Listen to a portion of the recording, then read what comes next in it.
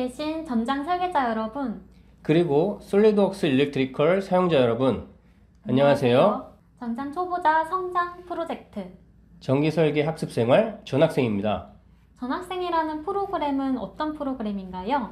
네, 평소에 많은 전장 설계자분들이 설계만 하는 것이 아니라 출장도 잡고 바쁘셔서 교육장에 오실 시간이 없거든요. 그래서 전학생은 솔리드웍스 일렉트리컬 교육 영상을 통해 설계자분들이 스스로 독학할 수 있도록 돕는 프로그램입니다. 아, 그러면 시간이 없는 우리 엘렉트리컬 사용자분들께서는 굉장히 유용한 프로그램이네요. 네, 그렇습니다. 자, 그럼 본격적으로 강의를 들어가 볼까요? 네, 이번 시간에는 솔리드웍스 일렉트리칼의 전반적인 기능에 대해서 소개해 드릴 건데요. 라이브 데모를 통해서 각각의 기능에 대해 좀 더 자세하게 소개해 드리도록 하겠습니다. 네, 지금 보시는 화면은 솔리드웍스 일렉트리칼의 3D 화면입니다. 그래서 지금 3D 프로젝트가 이렇게 열려 있고요. 이 프로젝트는 어, 포장 라인 어, 프로젝트인데요. 여기에 이 포장 라인에 보면은 여러 개의 컨베이어가 있고 이 컨베이어를 돌려주는 모터들이 들어가 있습니다. 그런데 제가 작업해 볼 것은 이 컨베이어에 들어간 모터를 제어하는 이 제어반에 부품을 추가하고 그리고 배선 작업을 할 거고요. 그 다음에 또 이 판넬에서 모터로 가는 케이블을 또 배선을 해볼 겁니다. 네, 이 화면 오른쪽에 보시면 이 Electrical 프로젝트 파일이 이렇게 트리 구조 형태로 열려 있는 것을 보실 수가 있습니다. 그래서 이 프로젝트 안에 포함되어 있는 문서를 하나 보시면 이렇게 PDF 파일로 우리가 사용할 전장품에 대한 데이터 시트를 또 포함하실 수가 있고요. 또 여기 보시면 어, 지금 3D 아까 3D 데이터를 이렇게 사진으로 캡처를 해서 Electrical에서 사용되는 어, 그 위치 정보들을 이렇게 L1, L2, L3로 나누어서 알아보기 쉽게 표현을 하실 수도 있습니다. 네, 그러면 본격적으로 작업을 해볼 건데요. 지금 3D 데이터가 좀 복잡하기 때문에 sub assembly를 열어서 좀 편리하, 편하게 작업을 해보겠습니다. 지금 왼쪽에 있는 이 어, 부품 배치 리스트를 보시면 모터가 M1부터 M4까지 4개가 배치되어 있어요. 그런데 저는 M5를 추가를 해서 작업을 해보도록 하겠습니다. 지금 현재 3D 모델 자체는 들어가 있습니다. 그래서 이게 지금 M5가 될 건데요. 일렉트리컬 프로젝트하고 연결이 된 상태가 아니기 때문에 지금 일렉트리컬 프로젝트는 인식을 하지 못하고 있습니다. 이 작업을 한번 진행해 보겠습니다. 이제 3D 화면에서 일렉트리컬 2D 스케메틱 화면으로 넘어갈 건데요. 어, 지금은 저는 하나의 PC에서 작업을 하고 있지만 실제로는 이게 두 개의 사용자가 어, 작업을 하신다고 보시면 되겠습니다. 두 명의 사용자가 작업을 하시는데 어, 2D schematic에서도 현재 다른 사용자가 어, 작업 중인 동일한 프로젝트를 이렇게 여실 수가 있습니다. 열어서 들어가시게 되면 어, 아까 보셨던 트리 구조가 똑같이 나타나게 됩니다. 그래서 하나의 프로젝트를 동시에 두 명의 사용자가 작업을 하실 수 있다고 보시면 되겠습니다. 네, 아까 보신 이 3D 데이터를 캡처한 사진도 그대로 있고요. 그리고 지금 보시는 이 도면은 어, 싱글라인 도면인데요. 전체 계통을 파악하실 수가 있습니다. 그래서 여기 아래 밑에 어, 밑에 보시면은 M1부터 M4까지 이미 4개의 어, 모터는 이미 배치된 상태고요. 저는 M5를 추가를 할 겁니다. 그래서 심볼 삽입을 누르시게 되면은 어, 심볼 라이브러리가 이렇게 기본적으로 일렉트리칼은 제공이 됩니다. 여기에 카테고리별로 부품이 모아져 있고요. 어, 해당 부품을 찾아서 배치를 하시면 되겠습니다.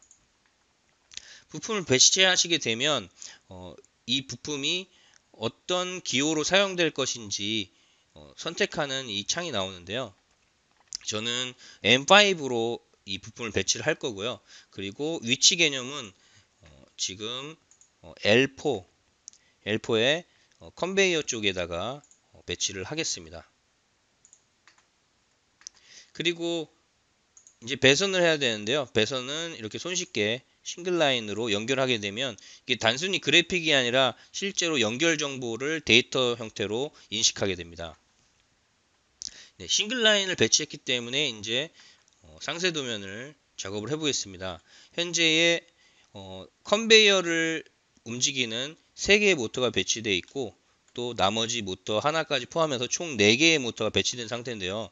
저는 나머지 컨베이어 하나를 움직이는 모터 라인을 추가해 보도록 하겠습니다. 어, 여기 모터 라인을 추가할 때는 일단 배선을 해야 되는데요. 배선 같은 경우도 우리가 와이어 스타일 선택기라고 해서 기본적으로 와이어 스타일을 이렇게 제공하고 있습니다.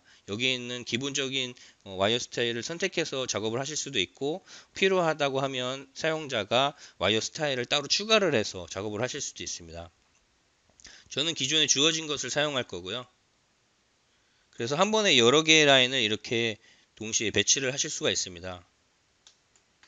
그리고 심볼 같은 경우도 싱글, 어, 싱글 라인 심볼과 다르게 이 상세 도면 라인의 심볼들도 이렇게 라이브러리 형태로 제공이 되고 있습니다. 그래서 여기서 어, 해당하는 심볼을 찾아서 바로 배치를 하실 수가 있고요. 역시 어, 이 심볼을 배치하시게 되면 어떤 기호를 사용할 것인가를 묻는데요. 어, 저는 어, 지금 보시면은 어, 사용하지 않은 M9번 심볼이 자동으로 들어갔습니다. 근데 저는 싱글 라인에 이미 배치한 어, 싱글 라인 회로도에 배치한 어, M5에 그대로 이어서 사용할 거기 때문에 여기 부품 트리 구조에 있는 어, 이 M5를 선택을 해서 연결을 시켜 보겠습니다. 이 M5를 열어보면 여기 하위에 지금 싱글 라인 심볼은 이미 들어가 있어요. 그런데 어, 여기 그림에도 나타나 있죠. 근데 상세 도면에는 안 나타나기 때문에 선택한 후에 확인을 누르시게 되면 어, M5, M5로 들어가게 되고요. 또 그리고 다시 한번 그 기호 속성을 열어보겠습니다. 여기에는 실제 우리가 제조 어, 제조를 할 때에 어떤 부품을 사용할 것인지 제조사 부품 데이터를 열 수가 있는데요. 네, 실제 부품 라이브러리도 이렇게 다양하게 갖추어져 있습니다. 그래서 여기서 기본으로 제공해드린 라이브러리도 굉장히 많은데요. 어, 사용자가 어, 여기 라이브러리가 없다 하시면 굉장히 손쉽게 추가를 또 하실 수가 있습니다. 그런데 저는 어, 이번 프로젝트, 프로젝트에서는 어, 이 르로이 스모라는 제조사의 이 모터를 배치해 보도록 하겠습니다. 할당하게 되면 어, 이 라이브러리 안에 기본적으로 스펙 정보들이 들어가 있기 때문에 자동으로 이렇게 어, 도면상에 표현이 됩니다. 그래서 수기로 입력할 필요가 없고요. 라이브러리만 구축되어 있으면 손쉽게 작업을 하실 수가 있습니다. 그리고 어, 이 도면을 그리는 데 있어서 2D 캐드와 다른 점은 이렇게 심볼을 빼게 되면 자동으로 배선이 작업이 되고요. 그리고 trim 작업을 할 필요 없이 이렇게 심볼을 배치하게 되면 알아서 이 배선 라인들이 잘리게 됩니다. 그리고 제가 심볼을 여기 이제 추가를 해야 되는데요. 추가를 하기 전에 어, 모터를 일단 배치를 했기 때문에 이 일렉트리컬 프로젝트와 3D 데이터를 한번 연결을 해보도록 하겠습니다. 다시 3D 화면으로 넘어왔습니다. 그러면 어, 아까는 M4까지만 있었는데요. M5가 생겼습니다. 그런데 지금 원래 여기 체크가 돼 있어야 3D 데이터가 연결이 되는 건데 연결이 안 되기 때문에 연결 작업을 해보겠습니다.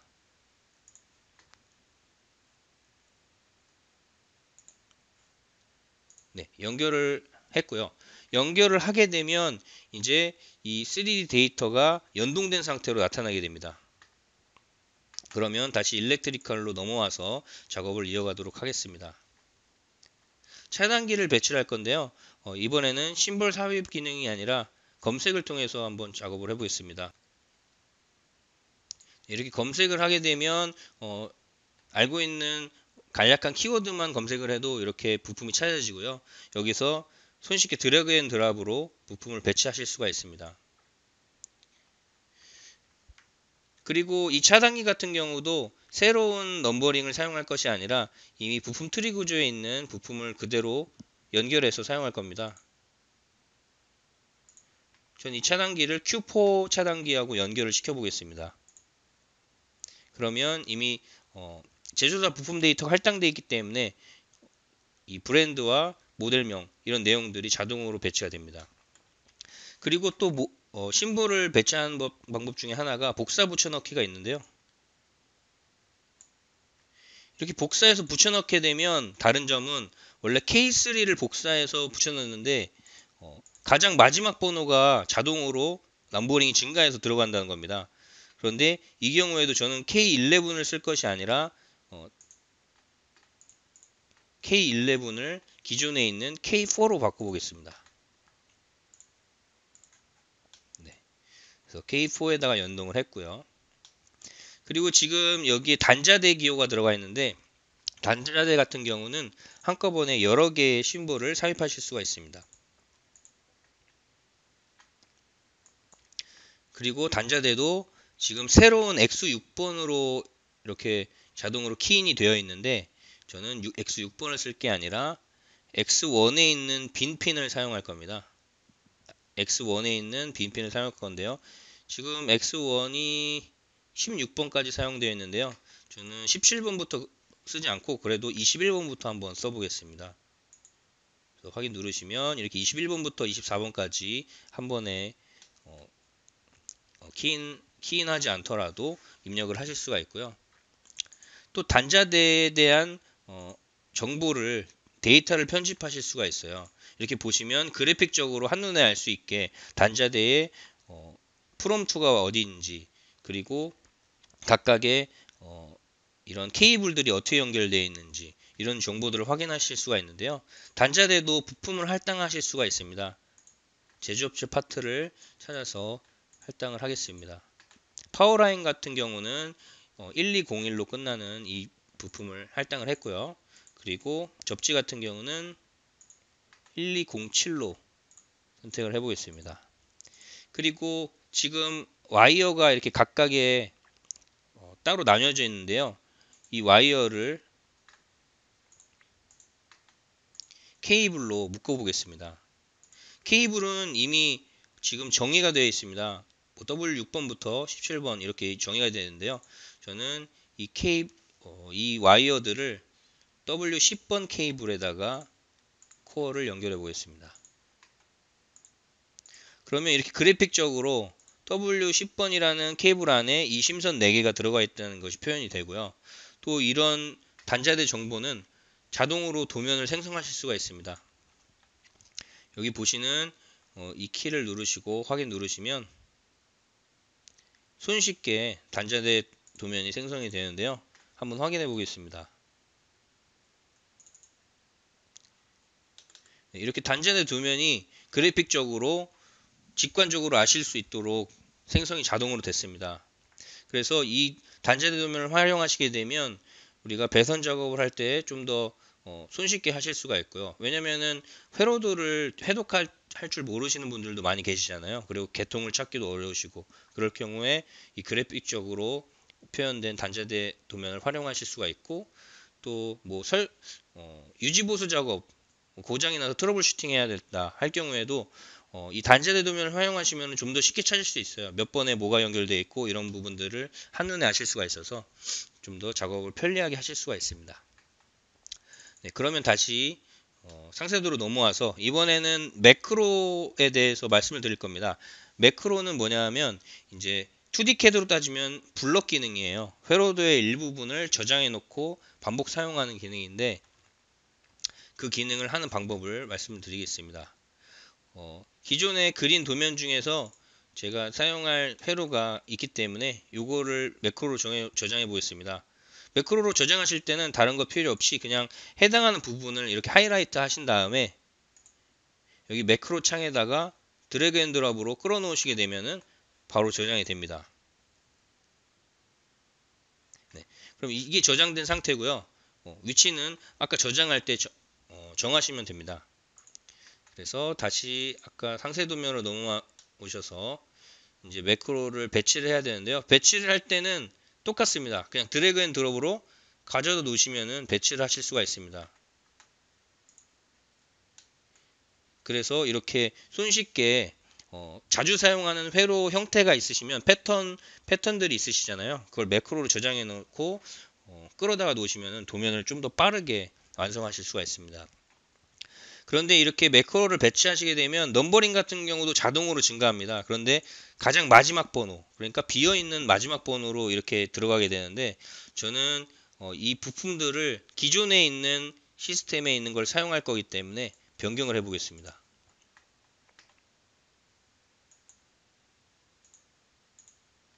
네. 이 차단기 같은 경우는 Q6를 사용할 거고요. 그리고 이 트랜스포머는 Q1에 연결을 하겠습니다. 아, T1에 연결을 하겠습니다. 어, 요 연결하는 게 좀 헷갈리실 수가 있는, 있을 것 같은데요. 이미 일렉트리칼 어, 구조는 구성이 되어 있는 상태입니다. 그런데 나타내는 형식이 지금은 어, 싱글 라인의 심볼만 들어가 있는데요. T1을 선택하고 확인을 누르시게 되면은 여기에 지금 상세 도면에 있는 어, 삼상 라인 심볼이 들어가게 되는 겁니다. 하나의 시스템을 단선도로도 표현하고 상세 도면으로 표현하시잖아요. 그런데 이제 상세 도면으로도 이 T1을 표현한다 그렇게 생각하시면 되겠습니다. 그래서 지금 어, 기존에 있는 부품 기호에 포함을 시켰고요. 예, 이번에는 출발점, 종료점, 화살표에 대해서 보여드리겠습니다. 출발점, 종료점, 화살표는 어, 등전이 개통을 이어주는 겁니다. 우리가 화살표 형태로 많이 보통 표현하시잖아요. 그래서 이렇게 시작점과 끝점을 연결하시게 되면 자동으로 연결이 됩니다. 그리고 연결된 걸 보시게 되면 이렇게 반대편의 인덱스 정보가 그대로 숫자로 나타납니다. 그래서 어, 반대편이 7번 페이지에 1번 행에 있다 라고 표현해 주, 는 거고요. 이동을 하기 위해서 눌러주면 바로 이동이 됩니다. 그래서 반대편 도면으로 이동이 됐고요. 그리고 다시 한번 점프해 보겠습니다. 또 그 다음을 이어서 이렇게 점프를 해서 도면을 이동을 했습니다. 이런 부분들도 다 수기로 입력하시는 업체들도 많이 계시더라고요. 전체 그 등전이 개통을 또 보셔야 되기 때문에 그런 걸 표현을 하시는 업체들도 있는데 일렉트리칼 활용하시면은 좀 더 손쉽게 작업을 하실 수 있다는 점 기억하시면 되겠습니다. 그리고 이번에는 어, 상호 참조입니다. 상호 참조가 뭐냐 하면 릴레이 같은 경우는 릴레이의 주접점도 있지만 보조 접점들을 가지고 있잖아요. 그래서 어, 도면 한 한 장 안에 어, 주접점과 보조 접점을 모두 표현하는 경우도 있지만 그러지 않은 경우도 많이 있기 때문에 어, 동일한 장치에 대해서 접점들이 어디에 있는지를 확인을 해야 되죠. 그 부분을 일렉트리칼에서는 기능적으로 바로 표현하실 수가 있습니다. 지금 보시면 여기 K1이라는 릴레이가 있는데요. K1이 가지고 있는 접점들은 오른쪽에 표시가 되어 있습니다. 그래서 지금 초록색으로 되어 있는 이 접점 3개는 주접점 3개는 사용이 됐다는 뜻이고요. 파란색은 보조 접점은 아직 사용을 안 했다는 뜻이에요. 그래서 K1으로 한번 들어가서 보겠습니다. 여기 보시면 지금 이 릴레이 코일 안에 어, 접점들이 있는데 릴레이 코일을 사용을 했고 그리고 3개의 접점을 사용했습니다. 그래서 초록색으로 표현된 것은 이미 도면상에 사용한 접점이고 어, 파란색은 사용하지 않은 접점이라는 것을 확인하실 수가 있어요. 저기서도 화, 그 확인하실 수 있지만 여기서도 활용하실 수 있다는 점 그리고 또 여기서도 바로 바로가기를 통해서 그 해당 접점이 있는 페이지로 또 가실 수가 있습니다. 그래서 손쉽게 이동을 하실 수가 있고요. 어, 뭐 장치를 추가한다던가 핀을 사용하시던가 추가로 그럴 경우에는 이걸 화용, 사용, 어, 확인하신 다음에 사용하실 수가 있습니다. 네, 이제 또 중요한 부분 중에 하나가 보고서인데요. 보고서 같은 경우는 이렇게 기본적으로 솔리덕스 일렉트리칼에서는 약 60여 종의 기본 보고서 양식을 제공을 합니다. 그래서 어, 여기에 있는 기본 양식을 활용하셔도 되고요. 그 기본 양식을 사용자가 좀 입맛에 맞게 필요한 정보를 더 추가해야 된다 할 경우에는 그 정보들을 추가하셔서 커스터마이징도 하실 수가 있기 때문에 어, 좀더 편리 하게 작업을 하실 수가 있습니다. 그리고 이러한 보고서들은 당연히 어, 우리가 회로도를 완성하게 되면 자동으로 그 데이터가 모아져서 들어가는 그런 보고서입니다. 그래서 수기 작업을 하실 필요 없이 도면만 제대로 작업을 하시면 이 데이터가 그대로 들어가게 됩니다. 그런데 지금 보시면 어, 지금 와이어에 대한 그런 보고서인데요. 지금 출발점과 종료점 그 프롬프트가 있고요. 그리고 길이값 그리고 컬러 코드가 들어가 있는데요. 길이값 같은 경우는 이 2D에서는 정확한 길이값이 당연히 계산이 안 되겠죠. 그래서 아직 0으로 하나도 안 들어가 있는데 이거를 이제 3D하고 또 연동을 해서 작업을 하게 되면 길이값이 자동으로 또 들어가게 됩니다. 그리고 지금 케이블 같은 경우도 이렇게 케이블 번호에 따라서 각각의 정보들이 다 나열돼서 들어갔고요. 그런데 길이 값은 역시 안 들어가 있습니다.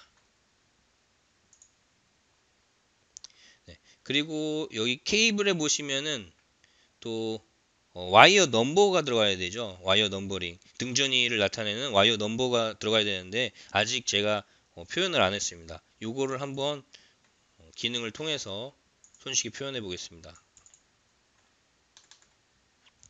보시면 지금 와이어의 번호가 하나도 표시 안 돼 있는데요. 이 기능을 통해서 손쉽게 번호를 추가를 하실 수가 있습니다.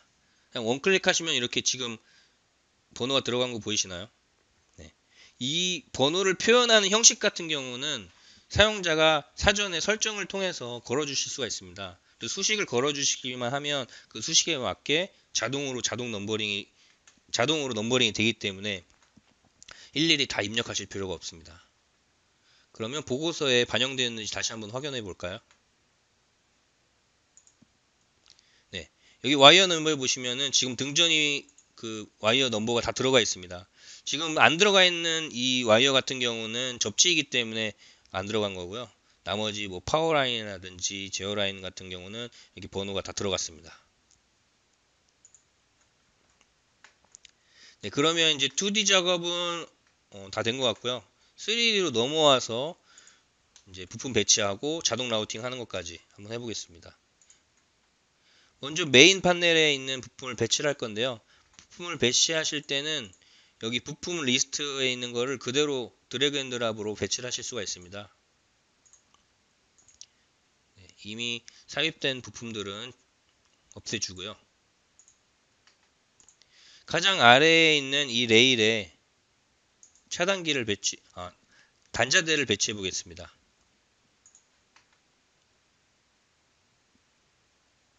배치를 하실 때는 지금 이 3D 데이터에 기본적으로 어, 접지되는 면이 작업되어 있어요. 그래서 레일에 이렇게 갖다 대시면은 착 달라붙습니다.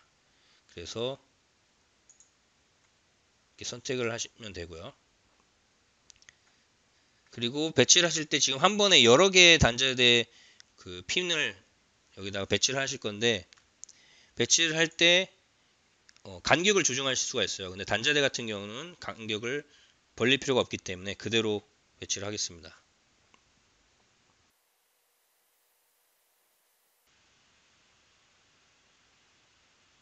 네, 이렇게 배치가 완성이 됐고요. 그리고 이 배치된 부품을 이동을 하실 수도 있습니다. 자유롭게 움직이기로 바꾸신 다음에 이게 바꾸실 움직이실 수도 있고 또이 뭐 간격이나 이런 부분을 좀 더 정확하게 맞춰 주셔야 되면은 기존 기존 SOLIDWORKS의 mate 기능을 활용을 해서 좀 더 정확한 위치를 또 맞추실 수가 있습니다. 네, 이제 단자대를 배치를 했고요. 또 나머지 부품에 대해서도 한번 배치를 해보겠습니다. 저는 K1번부터 어, 트랜스 T1까지 배치를 위에다가 해볼 건데요. 이렇게 부품을 여러 개 배치할 때에는 어, 서로 다른 부품일 경우에 어, 삽입 순서를 변경하실 수가 있어요. 저는 이 T1을 중간에다가 놓고 배치를 하겠습니다. 네, 역시 부품을 레일에다 대면 사전 설정이 되어 있기 때문에 이렇게 딱 달라붙는 것을 보실 수가 있고요. 클릭하면 손쉽게 한 방에 배치가 됩니다. 그리고 이번에는 각 부품 간 간격을 10mm로 놓고 배치를 하겠습니다.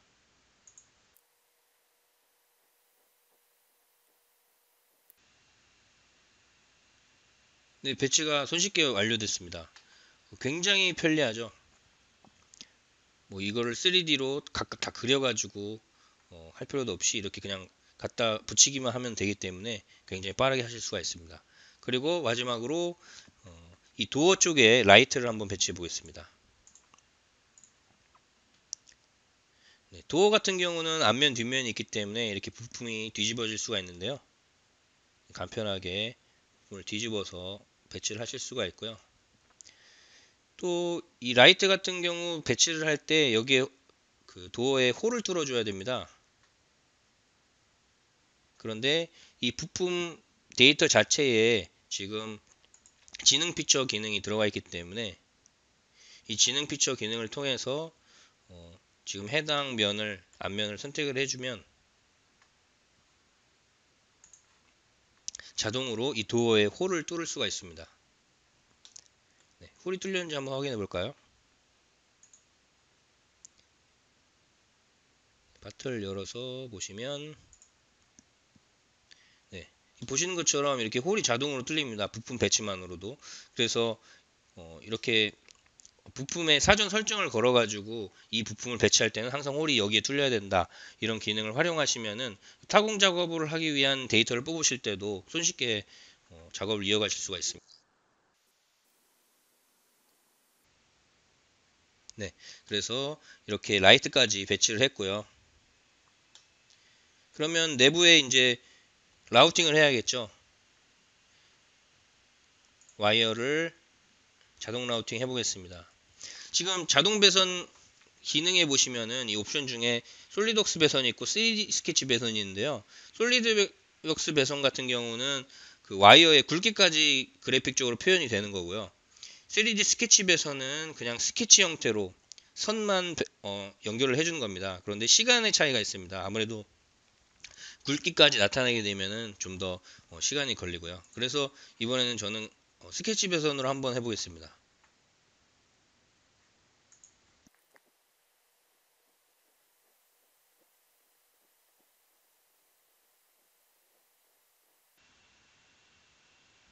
네, 어, 굉장히 손쉽게 라우팅이 됐습니다. 여기 보시면은 어, 그냥 직각으로 연결되는 것이 아니라 이렇게 실제 어, 배선이 되는 것처럼 곡, 곡선으로 이렇게 유연하게 배선이 된 것을 보실 수가 있고요. 어, 그리고 여기서 추가적으로 말씀드리고 싶은 거는 이 케이블들이 배선된 배선되는 그 경로를 이 덕트 경로를 어, 결정을 하실 수가 있습니다. 여기 분리 관리자에 보시면은 지금 어, 포함해야 될 덕트와 제외시켜야 될 덕트를 어, 사전 설정을 해놨는데요. 이 와이어 스타일에 따라서 어느 덕트를 지나가라, 어느 덕트는 지나가지 마라 라는 거를 설정을 사전에 해서 작업을 하실 수도 있습니다. 네. 그리고 아까 보고서에 길이 값이 업데이트 안 됐었잖아요. 길이 값이 지금 보시면은 지금 와이어에 관련된 보고서인데요. 어, 각각의 길이 값이 자동으로 이렇게 들어가신 들어간 것을 확인하실 수가 있습니다.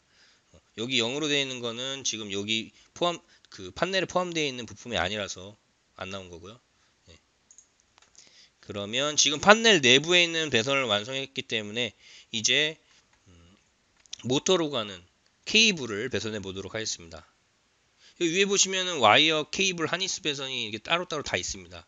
그래서 어, 어떻게 일렉트리칼 그 스케매팅에서 설정하는지에 따라서 요거를 다르게 할 수 있습니다.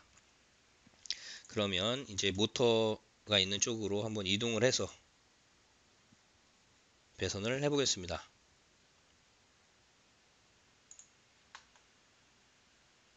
네, 케이블 배선을 할 때는 3D 스케치를 하지 않고 한번 솔리드웍스 배선을 해서 굵기, 굵기도 어떻게 나오는지 확인해 보겠습니다.